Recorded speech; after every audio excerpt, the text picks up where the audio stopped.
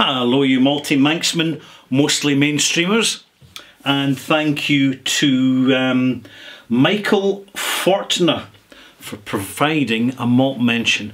I'm Ralfy in the Bothy doing whisky reviews, and with the malt mention, another malt moment has arrived, and in particular, this is Ralfy Review 971. Um, this is a concluding mini series on decent quality Ralfy recommended non-age statement whiskies. Non-age statement whiskies, whether they are single malt or blended, are whiskies where the producers do not tell you how long the whiskey's been matured. So you've got to take it and trust that the, the price reflects the real value of the whiskies. Um, I think generally you can do, but as always, there are exceptions. So I'm going to take the cork off. I, I, took the cork off that bottle far too fast. It's one of these fat, fat corks on a, a flask style of bottle where the neck of the bottle is quite wide. So generally it amplifies the popping sound when you open the bottle. And it also helps generate more squeak. You see, it's surface area Oh, not too bad. This is Kilchoman Sanaig, or Sanaig. Kilchoman is a distillery on Islay. It's a farm distillery and from the Rockside farm. It opened in 2005 and at the time it started selling whisky, it's been selling continually, continually, um, some pretty decent quality um, single malt, heavily peated Scotch whisky. So heavily peated tends to be the, the theme here. The peating levels of the barley are the same as Ardbeg. So if you know your Ardbeg whisky, you know that's quite peaty. So it's that same volume of peatiness in the malted barley when they take their, their chemical readings. And um, I'm recommending this because it's a very decent whisky. And when you're looking at non-age statement whiskies, particularly in relation to the price, as you're assessing whether they are value or not, um, are, there's a number of things you need to check.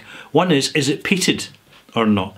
Because peated whisky tends to have the full force phenolics more intact at a younger age. And if you really like that peated flavour, the younger you get it, the more intense it is. So that can be an appeal for a young non-age statement peated whisky. And also the other thing you should be looking for are the size of casks used for maturation because if small casks are used in non-age statement whiskies like quarter casks, rundlets, kilderkins, blood casks, these small ones where you've got a much higher to surface ratio of liquor inside the cask, then maturation is taking place quicker. So you're getting more sense of maturity at a younger age. Right. So I've just poured myself a wee dram and I want to tell you a bit more about this Kilchoman Sanaig. The name Sanaig comes from uh, a rocky promontory just beyond the distillery. So they're using local names as, as reference points for the styles of bottlings.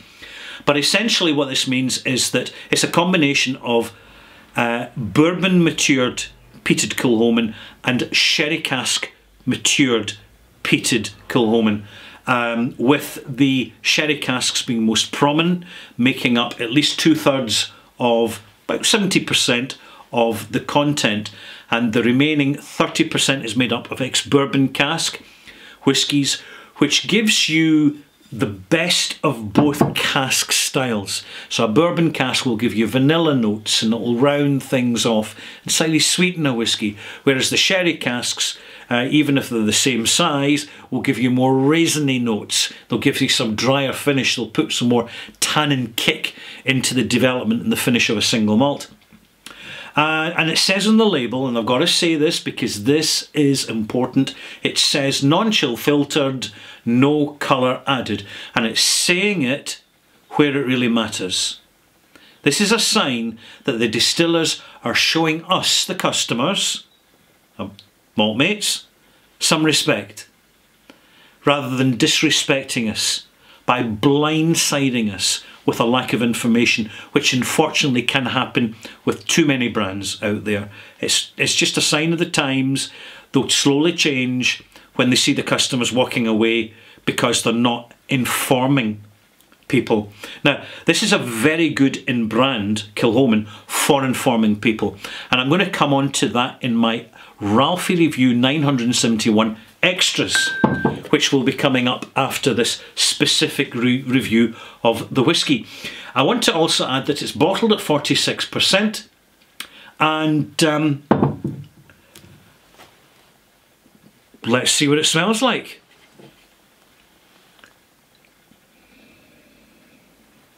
Creamy, slightly dry, syrupy vanilla.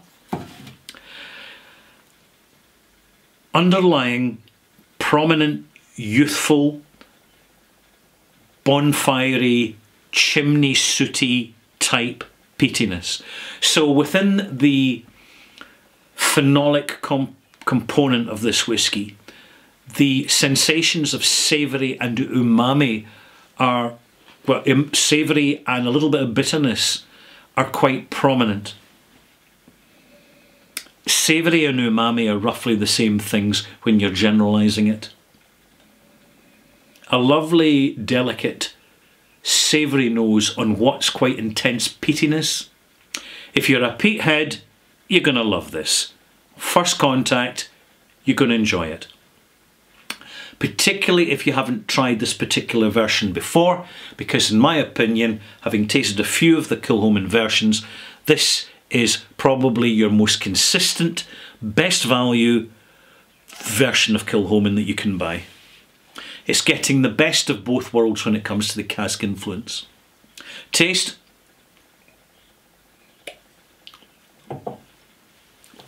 A lovely old-fashioned sooty coal smoke industrial phenolic intensity. It's nippy, it's dramatic, it's dynamic, it's slightly, it's reasonably intense, but it's not too violent with it. In fact, I would say, considering the phenolic levels in the malted barley, it's wonderfully restrained and articulate while maintaining an intensity because of the activeness of the casks that have been used to compose these batches, both the bourbon and the sherry casks, but particularly the bourbon casks. The bourbon casks are bringing in a sweetness and a softness to round off the astringency of the peat without going too far. So it balances up really, really well. I must say the blenders and whoever created this has done a really good job. A bit more in the taste.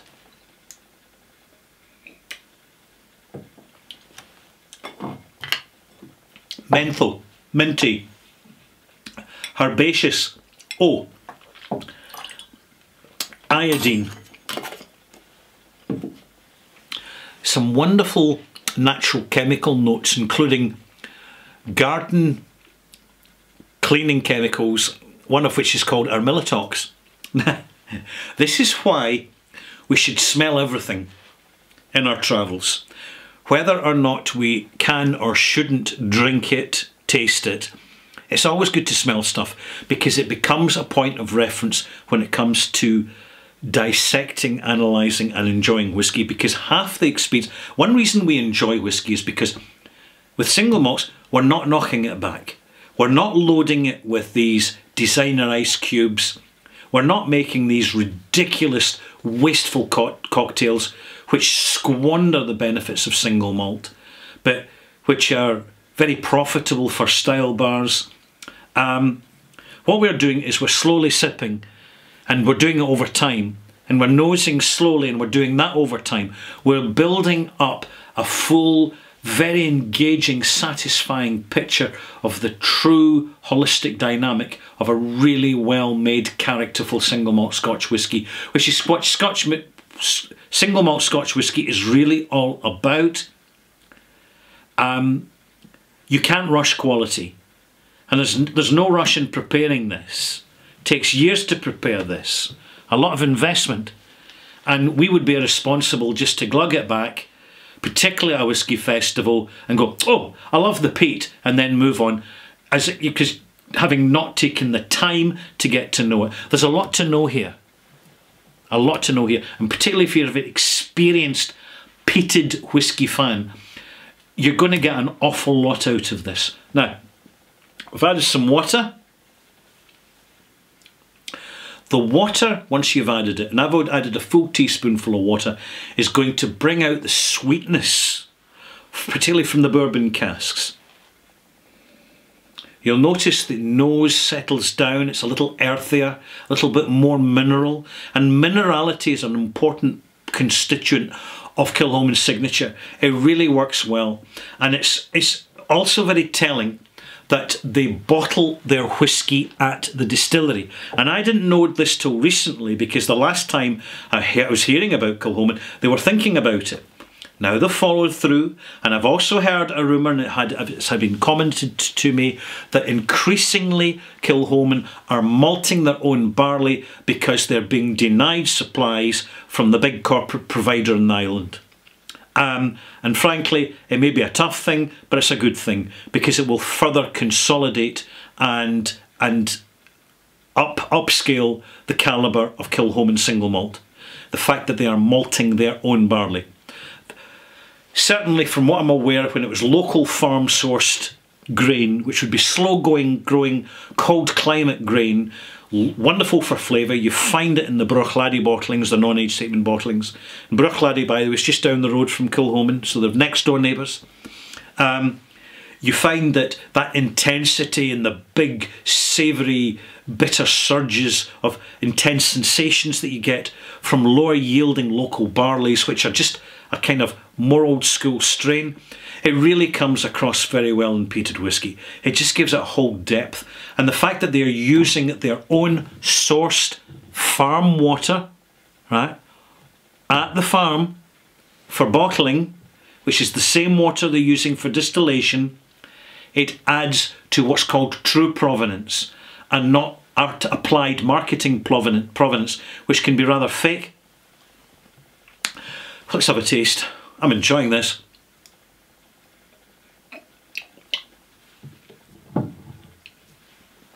Water just explodes the flavour. It uncoils the flavour in the whisky.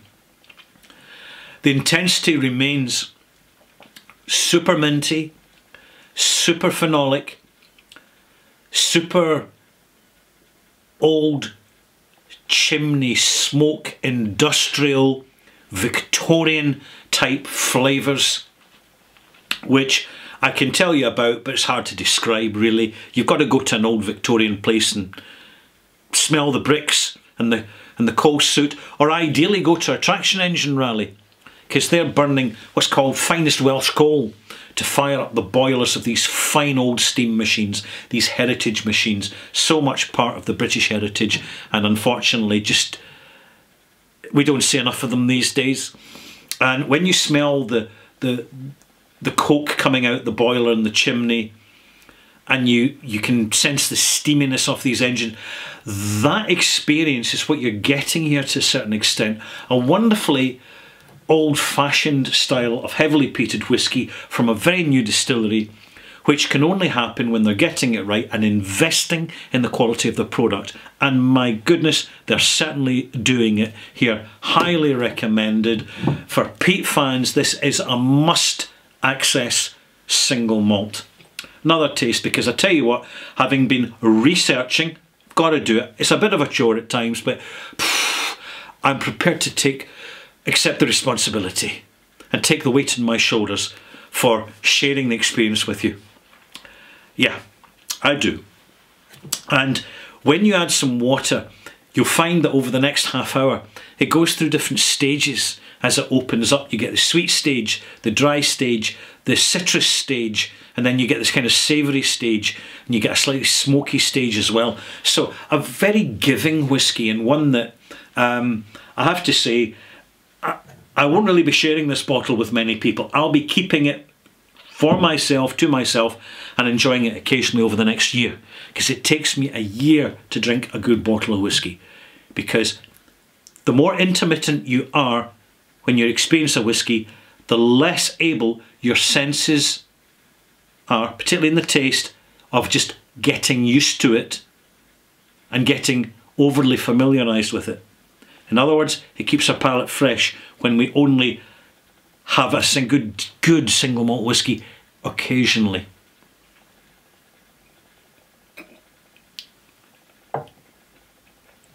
The length of that, oh, excuse me, really long arrival, wonderfully savoury, almost slight cough mixture and nasal inhaler to clean out your sinuses. It's kind of that thought of that sort of jig going on. So, I'm loving the jig. I'm loving the malt. I'm going to give this a mark. It's a really good mark actually. Um, it's one of my highest I've given for a while. This is how highly I rate this whisky. 87 out of 100. Now for those of you following my new marking system, you'll say, oh my goodness, that's almost a 92. In the old scoring system. Um, yeah, yeah, it is actually. This is a malt mark. It's an integrity malt mark. I highly recommend you look out for this in your travels. It is well worth the investment for the experience, as will be my next review, Ralfy Review 971 Extras, in which I am going to tell you a little bit more about this, which you might not be aware of, but is very contemporary, very much a sign of the times, and very worthwhile for any distillery anywhere to invest in. No more spoilers. Where's my red clicker? My Clivey clicker, here it is. We're done and dusted. We'll see you soon, malt mates. Bye.